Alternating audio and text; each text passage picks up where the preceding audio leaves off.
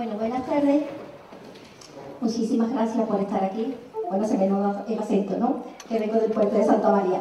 Voy a procurar hablar despacito, porque nosotros solemos hablar muy rápido. Eh, el tema que nos trae en música es la discapacidad.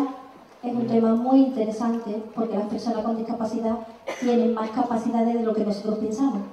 ¿Hay alguien, algún profesor que trabaje con discapacitados? Bien, muy bien. Voy a dar una leve pincelada, ¿vale? Porque el tiempo no, no lo permite más, pero mmm, me gustaría que de aquí saliera alguien con idea un pelín clara para darle unas pautas a esos, a esos alumnos que tienen, ¿vale? Entonces, eh, tenemos aquí el acercamiento a las necesidades educativas especiales. Cuando entra un alumno en un aula, pues lo que sí tenemos que ver que antes de nada es un niño.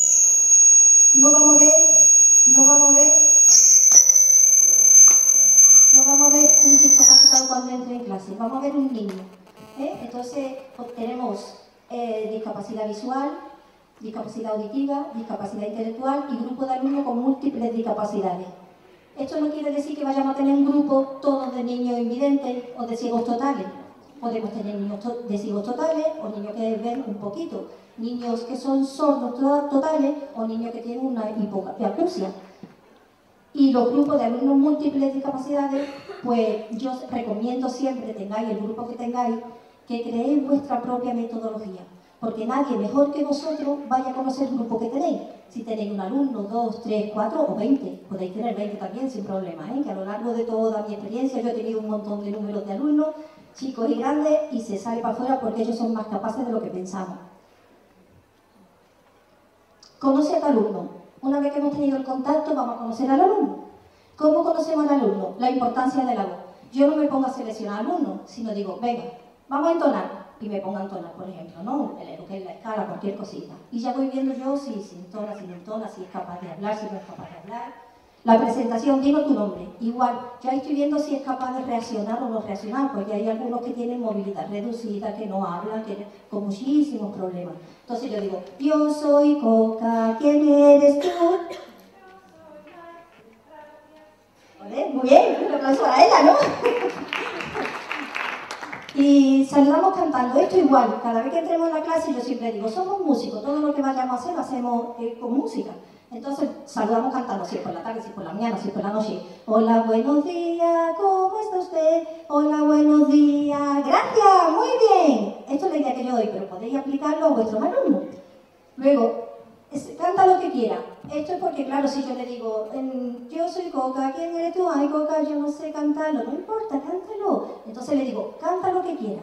Canta una canción y canta lo que quiera. Y entonces al cantar lo que quiera ya estoy viendo yo si respira bien, si se para al final de la frase, si pronuncia bien, si coordina bien. Todas esas cositas las voy recogiendo. ¿eh? Todo eso es para conocer al alumno.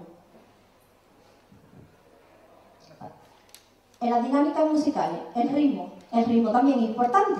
Vamos con el ritmo. Yo trabajo las negras, el cosía, semicosía, tresillo, la imitación, pregunta y respuesta. ¿Esto qué? Pues la imitación es lo que es el ritmo. Pues todos lo sabemos ahora aquí.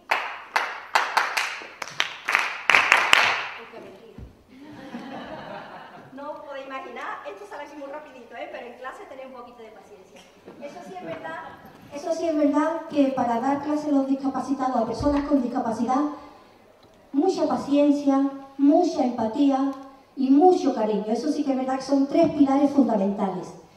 Eh, no solamente tenemos que ser profesor de música, sino también un poquito pedagogo, porque hay veces que no toman la medicación un niño muy bueno y muy participativo al no tomar las pastillas, ese día es horrible.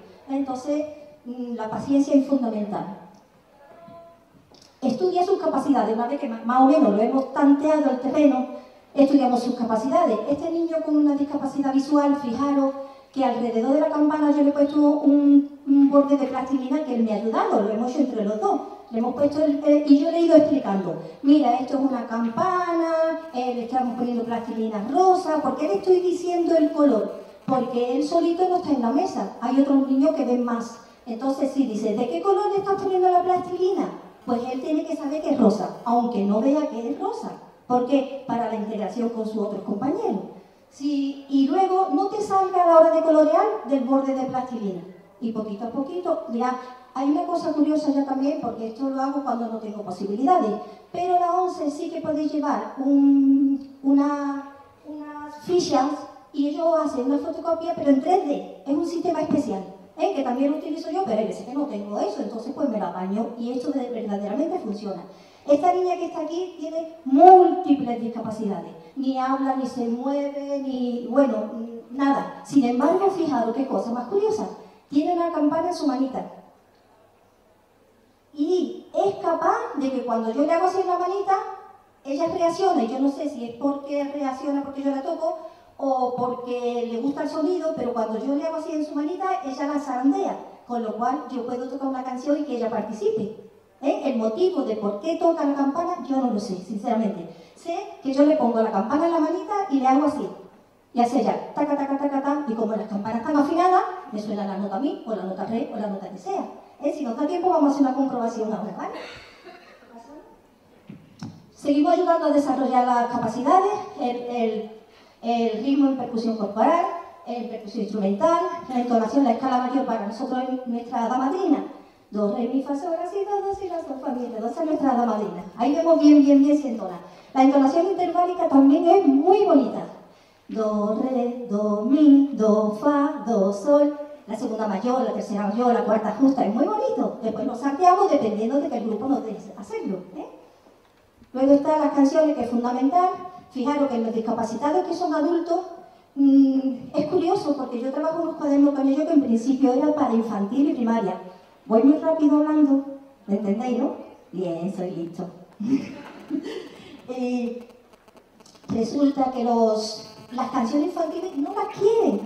Sin embargo, los cuadernos que en principio yo hice para infantil y primaria, los trabajan fantásticamente. Y yo le digo, ¿por qué te gusta trabajar este cuaderno? Y me dice, pues Coca, no ve que hay violines. Y hay pegatinas de violines, pegatinas de, de, de saxofón. Entonces son instrumentos de la orquesta. Ellos la orquesta la relacionan con adultos. Luego entonces el cuaderno ellos no ven que sea de niños. Ven que hay instrumentos que tocan los adultos. Entonces una cosa curiosa.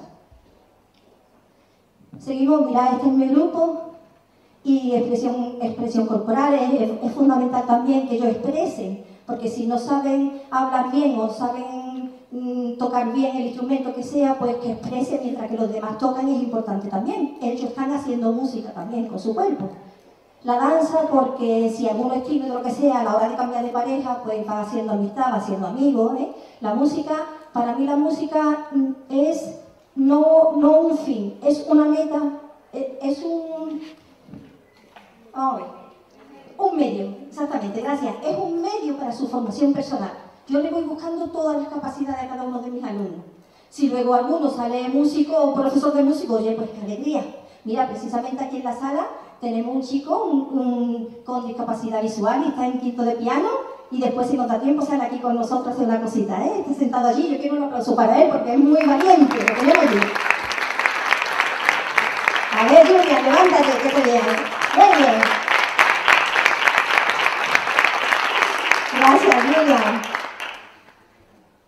Discriminación auditiva he puesto el juego del círculo por poner cualquier otra cosa. Yo le pongo música, cuando para la música entran dentro, cuando para sale, eso es, típico, como así otro, ¿no? Estos son los cuadros que comentaba que yo utilizo con ellos. El diccionario ya es para cuando ya saben leer, porque ellos saben leer también, por supuesto, algunos de discapacidad intelectual, leen perfectamente también. Entonces esto para los más mayorcitos y bueno, ya te digo que para los mayores todo, para los chicos todos también, por, por lo que comenté antes de los instrumentos. Eh, en la elaboración de los instrumentos musicales para la motricidad gruesa, ahí he puesto yo kazoo como un ejemplo porque ahora después lo voy a enseñar, ¿vale? Pero podemos hacer multitud de instrumentos musicales para, para ver cómo manejan ellos sus manos y demás. Y la fina, pues trabajamos en los cuadernos. Marcando metas, mirad, aquí ¿Qué objetivo que buscamos? Adaptación curricular individualizada no significativa a nivel interno, adaptación del proceso de enseñanza-aprendizaje, metodología, contenido, evaluación y la adaptación curricular individualizada significativa, según legislación vigente, la LOI. Yo he puesto aquí consultar LOI porque no es lo mismo la ley en la comunidad andaluza que aquí en Castilla o que ¿eh? revisar la ley porque hay veces que en el centro la ley no te permite hacer una adaptación curricular y es que hay que hacerla. Algunas veces que hay que hacerla. Bueno, aquí vemos mi grupo otra vez, buscando la integración. Quiero decir también que el objetivo del trabajo realizado es la integración de estos alumnos, la música inclusiva, clase colectiva, agrupaciones. Pero también quiero decir una cosa, por favor, que no se cierren los colegios específicos. Mira, porque el objetivo es la inclusión, eso sí que es verdad que, que se incluye en los colegios ordinarios. Pero es que hay alumnos que no pueden estar en colegio ordinario, no pueden. Entonces el colegio específico tiene profesores para ello específicos, el material, el adaptado, entonces es ahí donde tienen que estar. Y siempre con la idea de sacarlo fuera. No para dejarlo ahí en un rincón metido en un colegio específico y ahí te queda porque tú no puedes salir. No, no, no, no. Se va a trabajar en ese colegio específico, esa discapacidad que tenga ese niño, pero con la idea de sacarlo fuera. Si no se puede sacar fuera, oye, pues ahí es que está aprendiendo muchísimo, porque está todo adaptado para ello. Y si conseguimos sacarlo afuera, gracias al colegio específico, pues mejor que mejor. ¿eh? Entonces yo siempre estoy a favor de la inclusión, pero también a favor de que no se cierren los colegios específicos, porque a lo largo de todos los años que yo llevo dando clases, hay niños que no pueden estar integrados. Es más, hay niños que pueden estar integrados y no quieren irse a los colegios ordinarios, porque lo pasan mal. Porque el que quiere un equipo de fútbol quiere uno que meta goles, no uno que por el motivo físico que sea no pueda correr. El, que está pintando quiere uno que... En fin, ¿me comprendéis, no? Entonces pasamos, mirad, esto es un proyecto fantástico, el proyecto no es mío. Ahí metí yo, eh, fui con mis alumnos a hacer un casting y eligieron tres de mis alumnos. Esto, buscarlo en Google para no perder tiempo aquí explicando qué es lo que es, se llama Mosaico de Sonido es un proyecto eh, a, nivel nacional, es muy bonito, precioso buscarlo, porque la orquesta, la Asociación de Orquestas Españolas, quiere hacer un concierto final con personas eh, con discapacidad dentro de la orquesta. Entonces, este es uno de los ensayos y la verdad que, es muy bonito. Eh, son capaces de estar a la altura, buscar lo que os va a gustar el proyecto. Y aquí tenemos recursos para profesorado. Este, este libro de la editorial en clave creativa eh, aquí marco yo unas pautas básicas, muy básicas, para ir diciéndole cómo mm, voy dándole las clases a los distintos niños con distintas discapacidades. Lo podéis ver, pero siempre os aconsejo que creéis vuestra propia metodología, adaptada a vuestros alumnos, a, lo socioeconómico también influye mucho, si el centro es participativo, hay veces que el centro quiere, pero dice, pero no, no podemos hacer nada.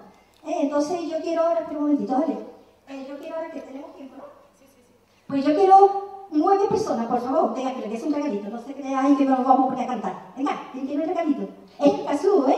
Mira, este casú ya lo he preparado yo aquí para no perder el tiempo. Pero el casú, que en nuestra tierra es el típico pito de carnaval. Que yo pensé que era originario de Cádiz, pero de, de. Ya Mozart lo tocaba, ¿eh? Entonces, fijaros.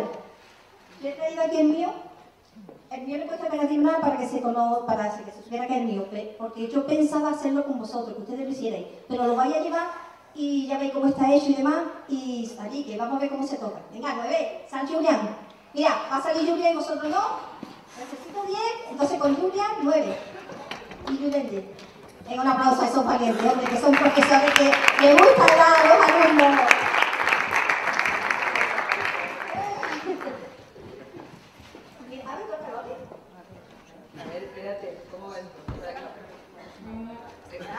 me gusta que no lo sepa tocar. Porque si aquí, por lo menos me voy y digo, ¿ha aprendido una a tocar casura, hermano? Julián, ¿dónde está?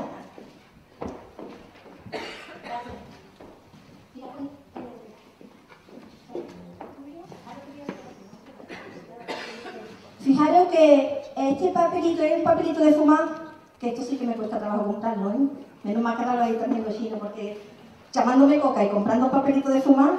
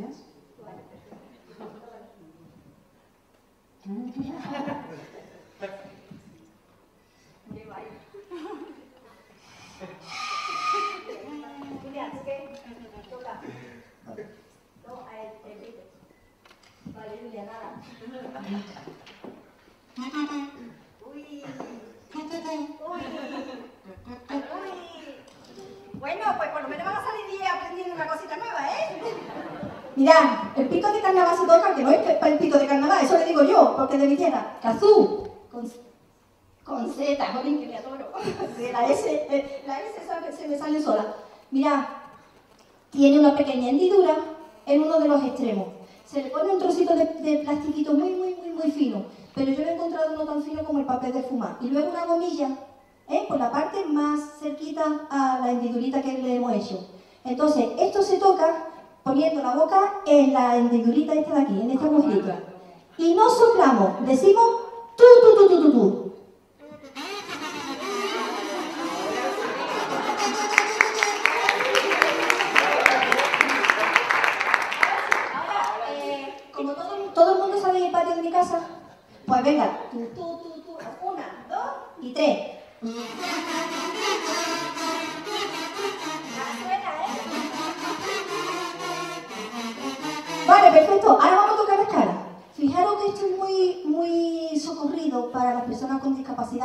porque si ellos saben cantar, saben tocar el casú. Y además de que lo hacen ellos, pues fijaros que cómo suena la escala también.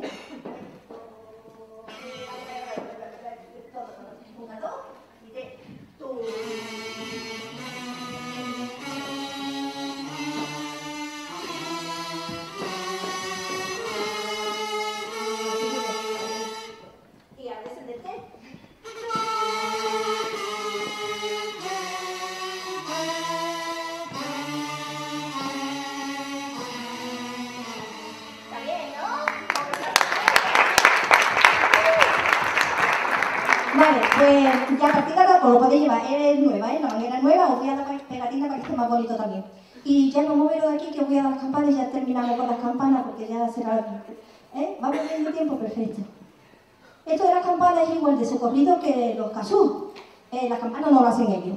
Pero lo mismo que son las campanas es el metalonota que tiene las, las placas afinadas y van individuales. ¿Eh? Si es xilófono, lo único que tenéis que hacer es quitarle las, Voy a repartir un momento, ¿vale?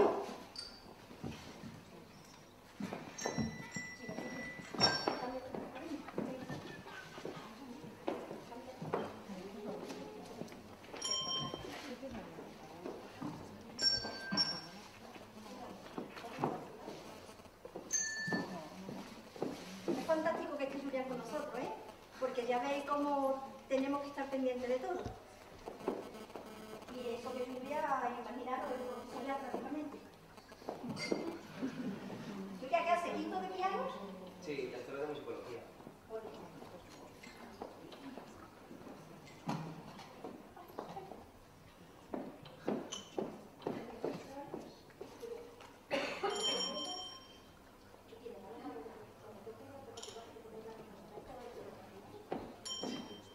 Porque sí tenemos, mira, es curioso porque cuando tenemos, damos clase a niños con todo es muy hablado, todo es muy a base de voz, todo es muy interpretado. Pero cuando damos clase a niños que son sordos, es al revés, es todo muy gestual. ¿eh? Yo mm, hubo una época en que me salía de una clase de niños sordos, me metía en la clase de niños ciegos, o al contrario, y cuando entraba en la clase de los niños ciegos, a lo mejor entraba así. Y cuando me daba cuenta digo, hola, buenos días, entonces daros cuenta de los niños que tenéis delante, ¿vale?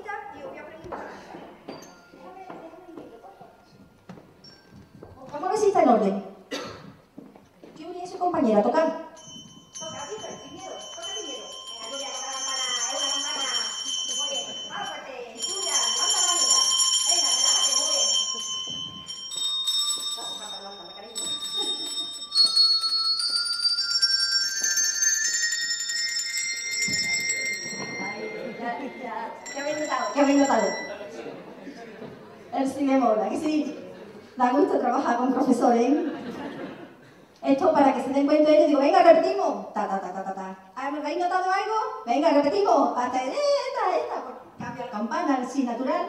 Venga, ahora sí está la escala. Ahora lo vamos a repetir. Y así. Eh, ¿Puede? Eh, no, esa no, esa es el natural. Mira, ahora voy a pedir a un chico o una chica que quiera, que quiera, fijaros que no he dicho que, que sepa, que quiera interpretar lo que vamos a tocar, que, que sea expresión corporal y que se lo invente, no hace falta que lo sepa, no hace falta...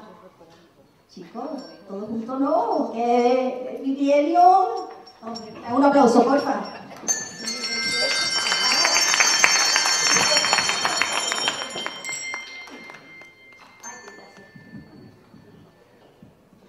Mira, te pone, te pone aquí sin caerte, ¿vale? Entonces ella va a interpretar lo que vamos a cantar nosotros, ¿verdad? Lo que vamos a tocar. Y vosotros, todos los ojitos para mí, ¿vale? está perfecto, está perfecto. Que acordaros de decirle a vuestros alumnos todos los ojitos para mí, porque se dispersan, todos los ojitos para mí. Con vosotros va a ser fácil, pero bueno, cuando quieran poner la música, por favor, vaya a reconocer, ¿eh?